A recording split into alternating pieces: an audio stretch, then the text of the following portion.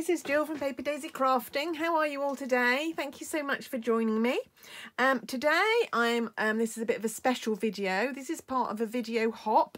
Um, we're a group called Stamp Around UK, so we're all UK demonstrators and um, we've come together today to do a little video hop so you're watching my video when you're done you can go down to the the description in the below the video and there'll be links to all the other videos in the hop um, so I hope you do will, will all hop round and have a look at what everybody's making. Um, some very talented um, demos in this group, so don't miss out. Um, this is my project for the for the hop. Our theme is masculine today. I hate making male cards. I like flowers and butterflies and cute teddies and things. I'm not really a masculine kind of girl when it comes to card making, but I pushed myself to this one and I had bought this set and I do I do love this set actually and I have made a couple of men's cards with it before. It's my go-to men's set actually, which is a bit of a shame because now it's retiring in June, so won't be my go-to set for very much longer. And for me, this is actually quite a fancy fold card. I know in some respects it's not very fancy fold, but for me it is. So I took a took a normal card blank, except tent-wise, that way round. And then I folded the first part over and then added another panel. I'm going to show you how I did it. So let's get started. So you need a, a sheet of our nice Whisper White cardstock, which is um, the extra thick, the thick Whisper White trying to find my trimmer behind me here. Here we go. Right, and you're going to trim this. This is an A4 sheet of card, so I'm trimming it. It's going to end up at 10 and a half, so I'm trimming it in the centre long ways. If you're in America, your paper is slightly different sizes, but um, you need it to be 10 and a half centimetres or four and an eighth wide, four and an eighth inch, inches. So we're going to score up there. So you've got a spare piece and you've got uh, the piece that we're going to use. And then I'm going to put my cutting blade out of the way and I'm going to score this at 14.8. So quite precise measurements here. So this should be in fairly central. Might not be exact because it's a funny length A4 card. It's 298 millimeters, so it's a bit strange. And then um, from that crease, it needs to be 7.2. So I'm going to take that crease and put it at 7 2 which is there. And do that. Would have been better if I'd done it cumulative so it would be 21 22 it would need to be at. Let's see if that's right. Let's see if I've done it right. We open this out. I should be scoring oh yes look at that. I am scoring at 22 yay. Um yeah I need to change that on my measurements. Right let's pop my um trimmer away. Right so we're going to fold over as normal and it should the edges should come together. Yeah they do fairly well. So like that. And then we're going to bend this one back. Now this might be slightly longer. Yes it is. Because I didn't I definitely didn't want it to be shorter so I just erred on the side of caution. So I can trim a little bit of that off. You see that's overhang. Actually I'm not sure that it matters that it overhangs to be honest. Maybe I'll leave it. Okay. Right I haven't got my Tombow out so let's do that was trying to think before I came on camera everything I needed. Forgot one of the most important things. Let's find my little pot. Is that damp? Not very. Put a little bit of water in there. So I keep my Tombow upside down in a little jar with a little bit of water. It's all right. This is just water that I keep for the same for that purpose. A little bit of sponge in the bottom there, or cotton wool, and keep it. And then you can just keep it upside down all the time, and it's ready to use. You don't have to keep um, shaking it down to fill it up or whatever. Right, okay, so I'm going to take a piece of um, designer series paper, which is slightly bigger than my panel. And what I'm going to do, I'm going to cut, stick it, and then I'm going to trim all the edges off so it fits really flush. So I'm going to take my Tombow, I'm going to glue around all the edges of my panel. Oh, this DSP, by the way, the measurements are seven and a half by 11 centimetres. Sorry, I haven't done that in inches. I will put it on, try and remember to put it on my blog after. Um, and the paper is called Come Sail Away and it's some um, sailing images so it's got sailboats and um, rope with knots and lighthouses on the rear of this piece the reverse of this piece uh, but it's got some quite nice plainish I like that I do like a stripe So I quite like this one. Right, so what I'm going to do is I'm going to line it up very carefully with the fold. So I want that to be absolutely flush. Press it down. And then you can see it's too big because I cut it deliberately too big. So I'm going to bring some scissors in and just cut like so. There we go. Like so. There we go. Right, so that's our card blank. Right, now let's do our panel with the little sailboats. And what we're using here is the Lily Pad Lake and the Lily Pad dies. Um, are they called the lake lakeside dies i think they're called um, i didn't say at the beginning but these are going to be retiring. Oh, i think i did say. These are going to be retiring in june so if you like them you need to get them now. I can't sadly i can't remember whether there's a lot of things reduced on the retired list. I can't remember whether this is one of them. Right anyway so what we are going to do um, is take a stitched rectangle punched out of our thin whisper white. Now this was was die cut with this rectangle. So it's the third biggest stitched rectangle and it measures 11 centimeters by 7.6. That's the size you need. Okay, now what I would normally have done is stamped on this and then um, die cut it so that I could position the stamp exactly where I wanted. Because I'm on camera, I'm not going to do that because I don't like using my die cutter on camera. Some of you will know. So I'm just trying to find my Night of Navy pad. So I'm going to come in with my Night of Navy pad, ink up this, this long wavy stamp from the set. And I'm going to try and position it in the right place first time. Wish me luck, I'm going in. Oops, knocking the getting my head in the way of the camera. Um, might not be perfect, but it'll do for our purposes. Oh, that's not bad. Bit, bit to one more to one side than I'd like it, but it's not bad. There we are. Let's put my... Um, oh, while we've got this out, let's just stamp the happy birthday message up in the corner as well here. And this is being this is um, the happy birthday from Bonanza Buddies. I really like this happy birthday. It's another set that's going. I hate Stampin' Up doing this to me. They're taking all my favourite sets away. Um, and I, lo I love that happy birthday. It's just quite cute and I like this font and like everything about it. Right, there we go. Now, what we're going to do is we're going to take a blender pen to these little waves. You can see on mine. I've stamped them and then they look a bit sort of watercoloured. I just did that with a, with a blender pen. So I just came in with one of our blender pens and just smooched the ink about a little bit. And then you get this lovely watercolory effect. You don't need to add anything to it. Don't go over it too much because you'll, get, you'll start to wear away the paper. So you just need to be a little bit careful. But you can move the ink around enough to do that. There we go. There we are. And it just looks a bit watery because it's all patchy and watercoloury. Quite like that effect. Right, okay, next we're going to need to do the boats. Right, the boats are both on one stamp, or three, all three of them on one stamp. When you die cut them, they cut, cuts out all three all at once. So I've stamped this already in Memento black ink because I wanted it to dry properly before I coloured it.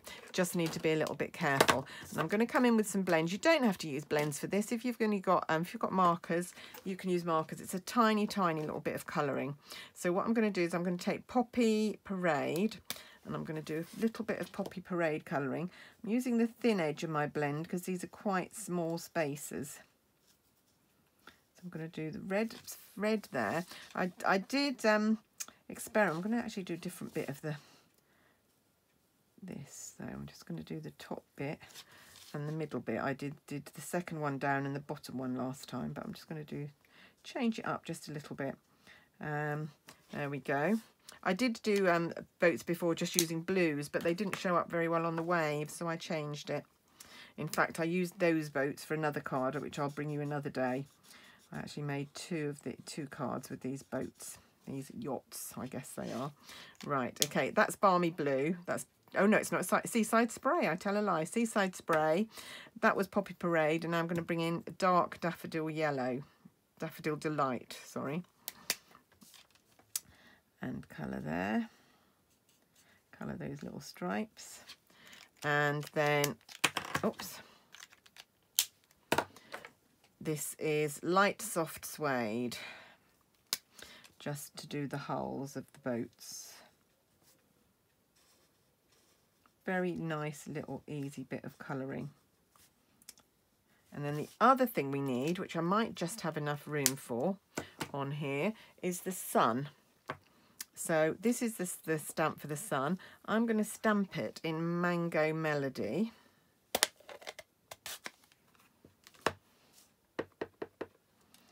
Going to stamp it over here it can be die cut out, remember, so it won't matter. And I'm going to come in with my mango, dark mango melody pen and just do a little bit around here.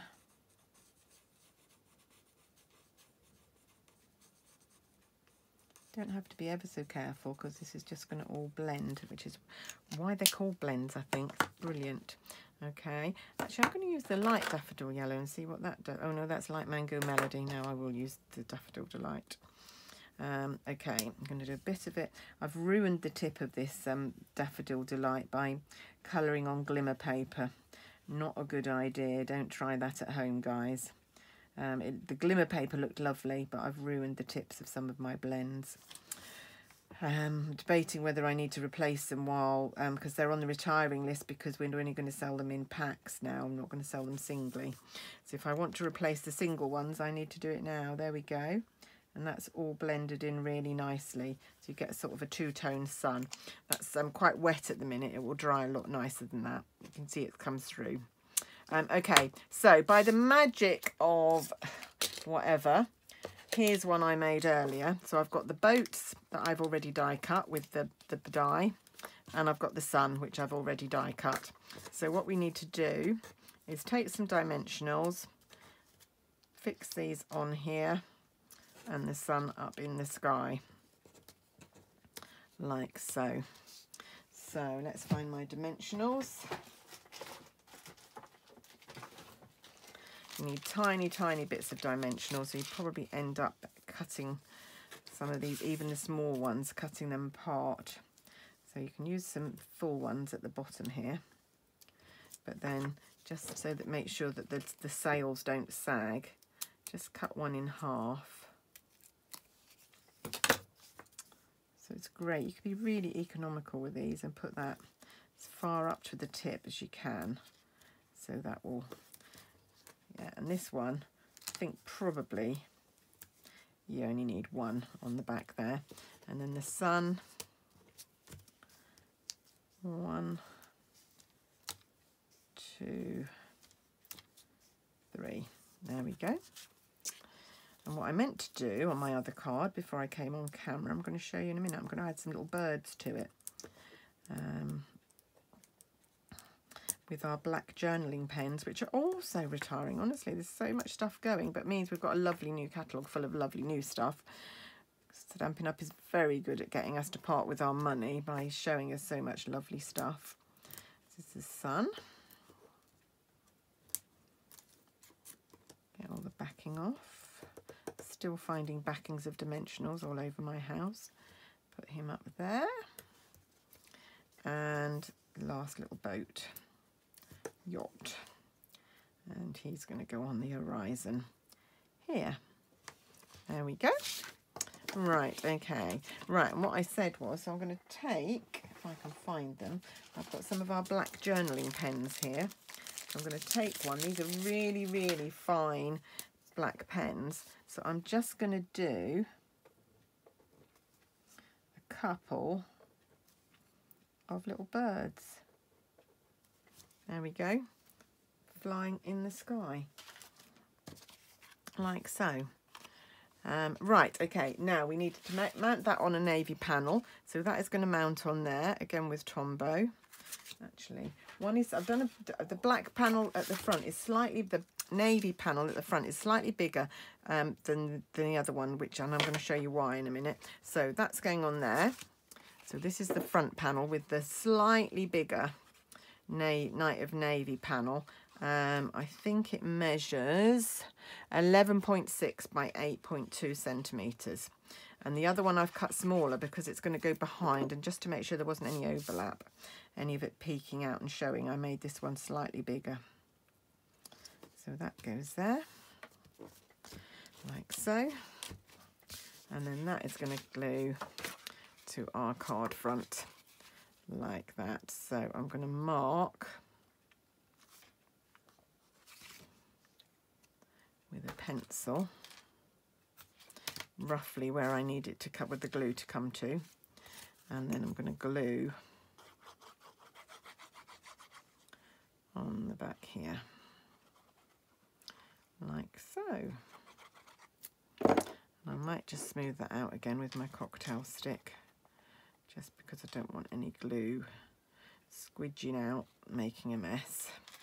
And Tombow does stay to, seem to stay quite sticky so if you do get it anywhere it can be a bit of a pain. Right okay so what I need to do is glue that up to where my glue is.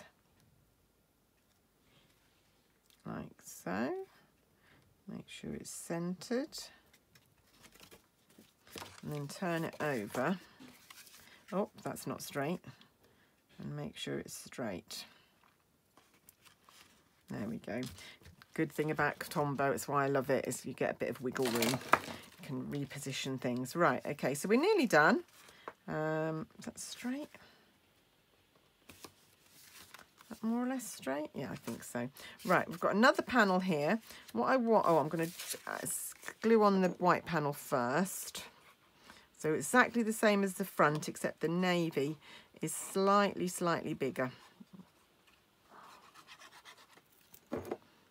The Night of Navy panel is slightly smaller, sorry, slightly smaller than the front one.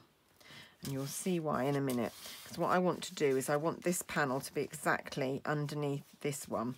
So I just thought if I made it slightly smaller, it would make that slightly easier. So what I'm going to do is I am going to mark the corners of this one with my pencil very lightly. I'm then going to glue my panel like so so that I know it's not going to be showing from the other one and then I can rub out these these um, pencil marks. Oops. Now when you put water on your thing sometimes it absorbs it so you sometimes get a little bit of of water coming out of the nozzle so you just need to have a piece of kitchen roll or tissue handy to get rid of that. I don't mind that because if it means I have a free-flowing nozzle all the time without having to keep bang banging my Tombow but you might not like that. We all have our little quirks, us card makers, all have our little shortcuts and things we like. I have certain tools. I love, as you've seen, I love my tweezers. And whenever we go on a training day or meet up and do any crafting, we always get a list of things we have to take and never includes tweezers because they're not a Stampin' Up um, thing. Um, and so I always forget to take mine and I'm always lost. I sort of, so many times I think, oh, I'll use my tweezers. Oh, I haven't got them. Oh, I'll use my tweezers. Oh, I haven't got them. Right, there we go. That goes in there. Like so. And then we're just going to finish off by printing, stamping. Um, if I can find my memento pad. Which at the moment I can't. Oh, there it is. over there.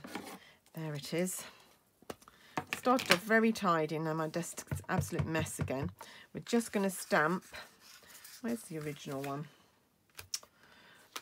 Oh dear, honestly. What have I done with it? It's hiding under here. Here it is.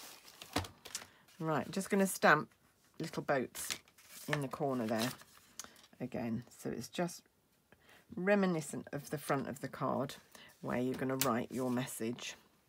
So memento it. Now I haven't left that to dry. So just if I was you, if you're doing this, do leave it to dry a little bit. I'm going to go straight in and hope that it doesn't um, smudge too much. It Should be okay, but just to be on the safe side, I would leave it a little bit longer than I'm leaving it now. Right, and we're nearly done. We've nearly made our card. So we're going to do the same bit. So these ship, these boats are going to be exactly the same as the ones on the front of the card. So they could actually be the same boats that have moved along a bit. Um, I do love using our blends. I was so shocked when the retiring list came out and there's loads of blends on it. But they're all being repackaged, reconfigured, and we're no longer going to be able to buy them singly. So that's why they're on the retiring list. It's not because they're actually going. So don't panic if that's what you thought too. But if you if there are any single colours that you need, now is the time to get them. Right, there we go. And that is a card. Now, again, and usually for me, I've made identical cards. Um, for the video. Normally I change it up a little bit, but I just like this one so much. Thought I'd leave it as it was. So there we go. Two fancy fold. Can I call that a fancy fold? Fold cards. Right, now don't forget we are part of a video hop. Hope you've enjoyed my project, but don't forget there's loads and loads of other wonderful projects to see. So just go to the description below. There'll be a whole list of links and you can click on any of those, hop round and have a look at what everybody else is up to. And if you're like me, having a, a hop with inspiration for masculine cards is really great because like I said at the beginning I'm not great at masculine cards so anything that can help me um, would be great. Anyway that's my card for today. Hope you enjoyed it. Do come back. We put we um, do a video hop on the first day of the month every month so do come back next time and see what we're up to.